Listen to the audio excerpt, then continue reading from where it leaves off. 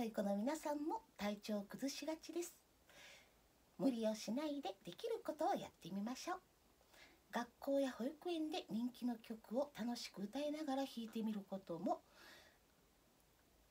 ピアノのレッスンの楽しみ方の一つです。ありがとうの花。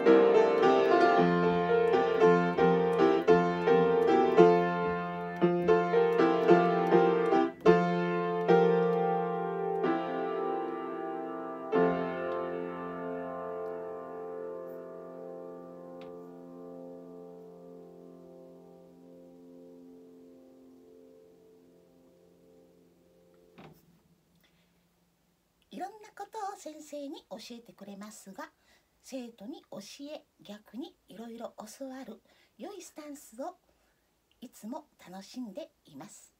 これはとっても大切なことです。コミュニケーションというのはピアノを指導する上でも大切なことです。いろんなことを教えてもらい逆に知識を教える。このスタンスを大切にしたいと思っています。何でも先生に話してくださいね。バイバイ。バイバイ。良い子の皆さんも体調管理にはくれぐれも気をつけてください。